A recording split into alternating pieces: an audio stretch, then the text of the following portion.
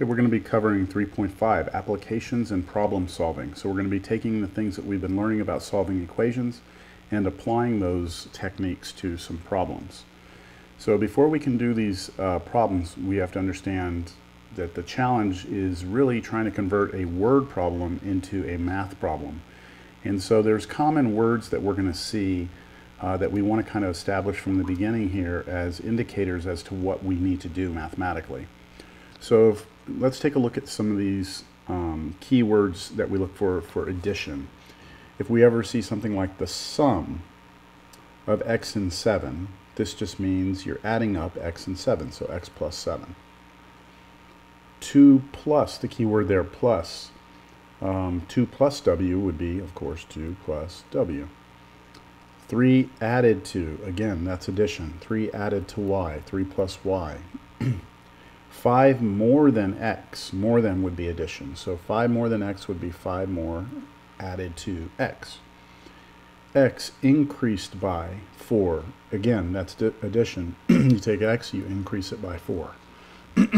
so those are some keywords to look for when we're talking about addition. Now with subtraction, we have to be a little careful. And the reason we have to be careful is because subtraction doesn't work like addition in the sense that if I do 2 plus 3, that's the same as 3 plus 2. So with addition, it really doesn't matter what order you put things in. But if you do 2 minus 3, that is not equal to 3 minus 2, right? Because 2 minus 3, that's negative 1, and 3 minus 2 is positive 1. So we have to be very careful with the order of things whenever we're doing subtraction. So the difference of x and 2. Well, the difference of x and 2, this one's a little confusing but we're going to take the difference, which would be x, and then you're subtracting 2. The second one, 200 minus y. This one's pretty uh, clear. You're just going to go 200 and minus y.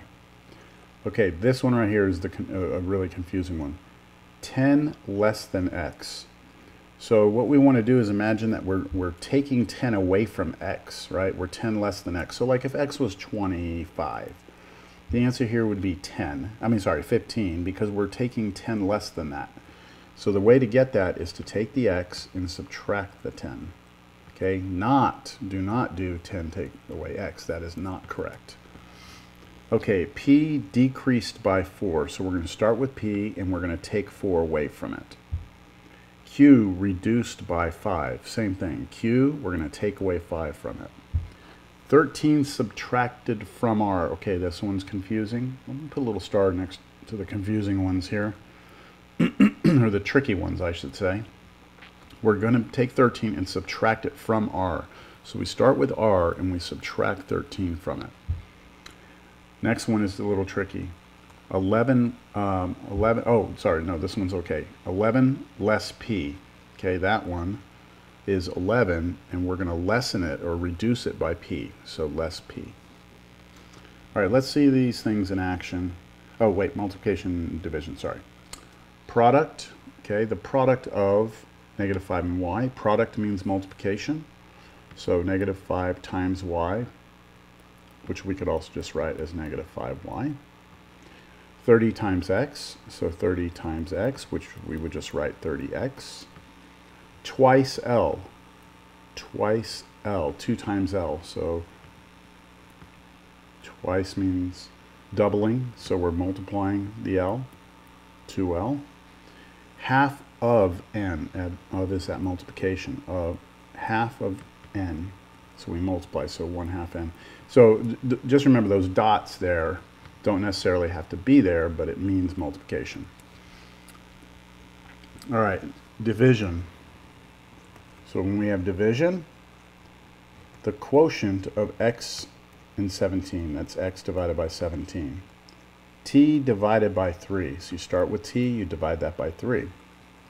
The ratio of 2 to c, we saw ratios before, so 2 on top, c on the bottom. And how about this one? m split into 5 equal parts, so you start with m and you're going to cut it or divide it into 5 equal parts, m divided by 5. All right, how about equality? So what, how do we determine that we have an equal sign in our, in our mathematical statement? x is equal to 5. x is equal to 5. y is the same as z. y is the same as z. n plus 2, okay, so that's addition. n plus 2 is, that's our equal sign, is 11. P squared, okay, p and then square it, yields is our equal sign, 25. Okay, hopefully that kind of gets us ready. Now let's uh, take a look at some strategies for solving problems, the four P's. First, prepare. We want to read the problem, figure out what is it you're trying to find, try and figure out what information you're given. Okay. Uh, make a plan, choose a strategy, how to solve the problem, uh, define any variables, write an equation, process, carry out the strategy from step two. So if we uh, wrote an equation down, go ahead and solve it. And then ponder, did, you know, does our answer make sense? Did we label everything correctly? So in other words, you know, try and check it if we can. All right, let's start with this first example. The sum of a number and 12 is 8. Okay, the sum. So I know I'm going to be adding something together here. The sum of what? Well, some number, right?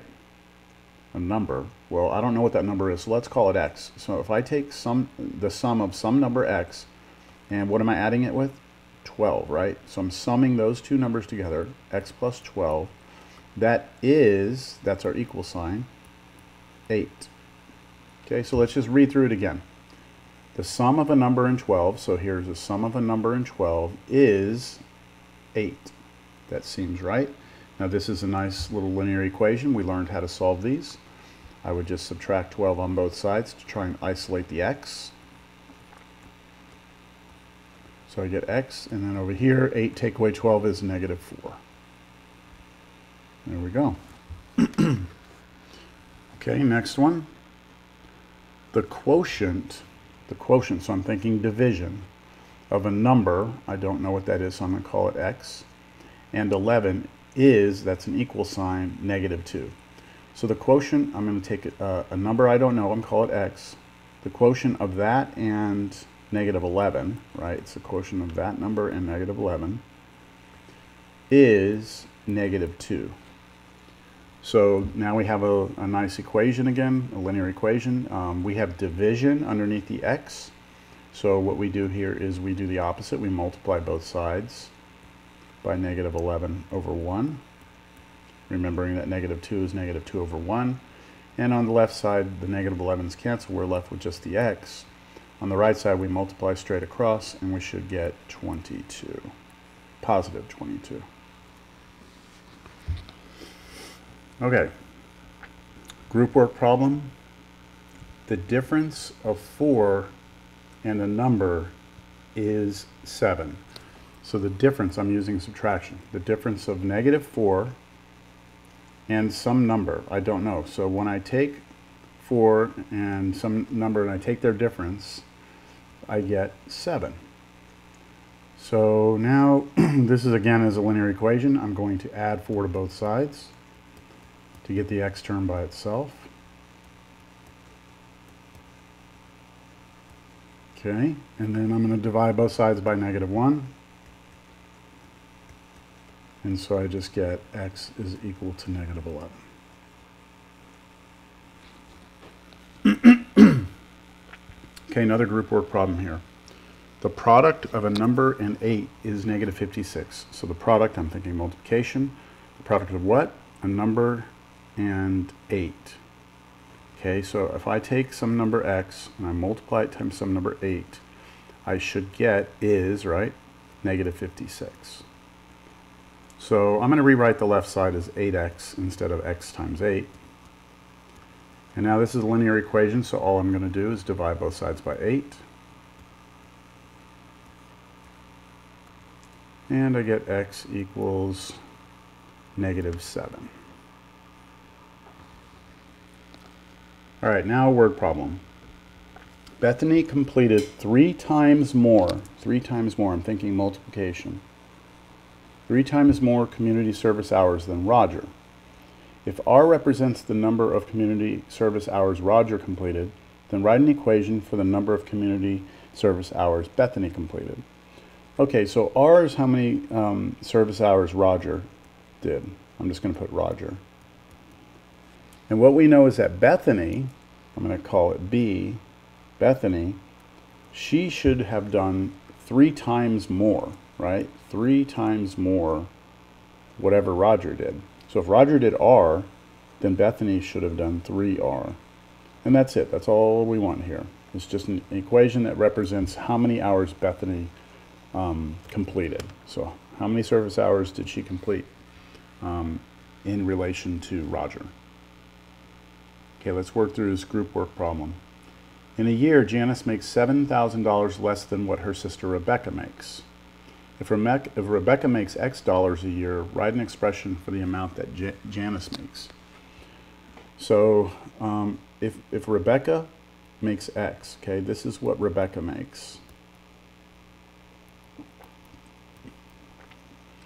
And Janice makes $7,000 less, then Janice should make whatever Rebecca makes, which was X, take away 7,000 and that is our expression that represents how much Janice would make. Okay, next one. Sandy bought eight tomatoes for C cents each. Write an expression for the total cost. Well, she spends C cents for each tomato and she bought eight. So are we going to add eight or multiply eight? Well, because she has to pay eight cents for each one, we will multiply eight times C. That's how much she's going to pay. All right, let me just look at this real quick, see how much we got to go here. Okay, two hikers on the Appalachian Trail hike from Hawk Mountain to um, Gooch Mountain.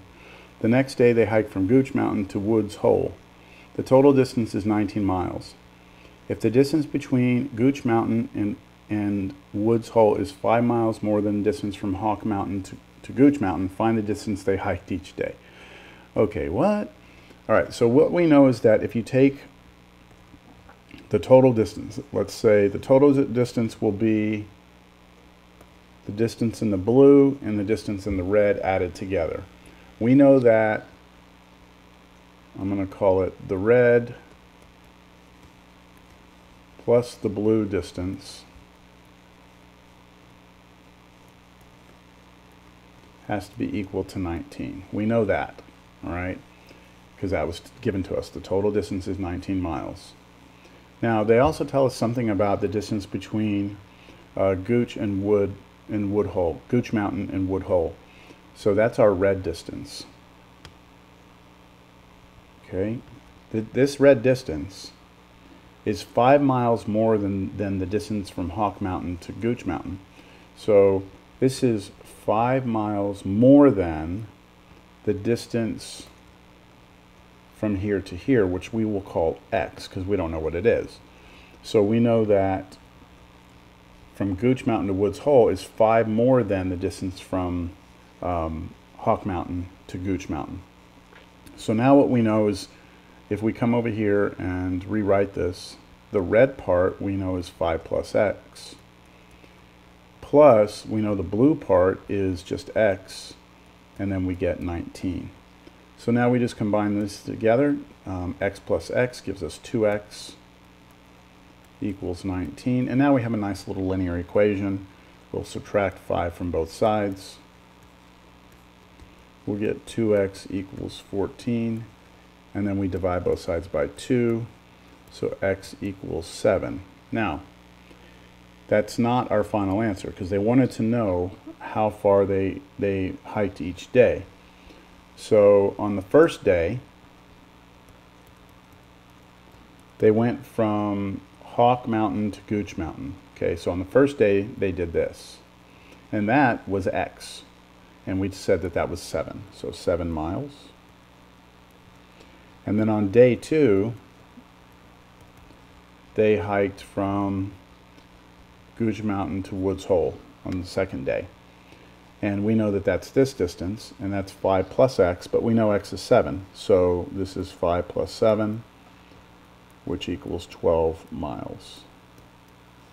First day they hiked 7 miles, second day they hiked 12 miles, total distance 19 miles. And notice that uh, the distance here uh, from uh, Gooch Mountain to Woods Hole is 5 more than from Hawk Mountain to Gooch Mountain. So everything satisfies what we were trying, or what we were given. Okay, a 20 foot board is cut into two pieces. Okay, so we have a 20 foot board. We know the total distance here is 20. Okay, so when we cut it, we cut it in two pieces, and, and we don't really know where we cut it. Let's just make an arbitrary cut. If the longer piece is 8 feet um, more than the smaller one, find the length. So when I cut it, when we cut it, let's say that this is the smaller piece, and we don't know what it is, so let's call it x. They're telling us that the longer piece is 8 feet more than the smaller one. So this longer piece should be 8 feet more than the smaller piece, which is x. And so what we know is that when you take the longer piece, which is 8 plus x, and add it to the smaller piece, we have to have 20 foot board. And this is very similar to the previous problem. We can combine the x's together. That's 2x, 2x. We can subtract 8 on both sides. Get 2x equals 12. And then x equals 6 when we divide both sides by 2. So 6 feet. So the smaller piece is 6 feet. And the larger piece, or longer piece, is whatever six, whatever x is, which is 6, right, plus 8. 6 plus 8 is 14 feet. So we can see that when you add those two together, you get 20, but then also the larger piece is 8 feet longer than the small piece. Okay, let's try this one. Mercedes is paid a salary of $480 a week. So Mercedes is paid $480 per week. She, she worked eight hours of overtime during the holidays, and her weekly paycheck came out to be $672. What was her overtime pay? Or what was her overtime pay per hour? Okay, this is a little tricky. So she normally, this is normal, she normally makes 480 a week. But in one particular uh, week, some other week, she made $672 because she worked she worked overtime. Okay, that means over what she um, normally does. Okay, so let's take the difference of these two. Let's see how much more she made per week. Uh, you know, how much more she made by working overtime. So we take 672 and we subtract from it 480. We just do this by hand. Nine, so $192 more. That's how much more she made, right? So we're not being asked for what her overtime pay per um, overtime, how much more she made. We're saying we're being asked how much was her overtime per hour. Well, how many hours did she work? She worked eight hours of overtime, and and the 192 is how much more she made. So all we need to do to figure out her her pay per hour is to take the 192 dollars and divide it by the eight hours.